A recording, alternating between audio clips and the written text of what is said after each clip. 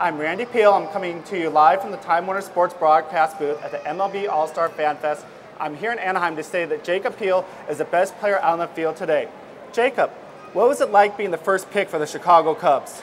Uh, it's fine. And are you a batter or a pitcher? Battle.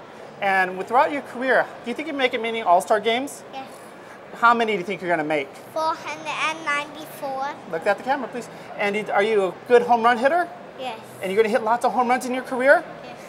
Now, who do you want to be like? What current baseball player is your hero? Who do you like the best? Uh, I. Does he play catcher for the Angels? What? Who's catcher for the Angels? Happening. Is that your base- baseball player you want to play you like? Yeah. He's a very good player. Now, you're going to be a Hall of Famer? Yes. And will your team win the World Series? Yes. Yeah. So I wish you the best, Jacob, and I can't wait to follow your career. Good luck and congratulations in your league.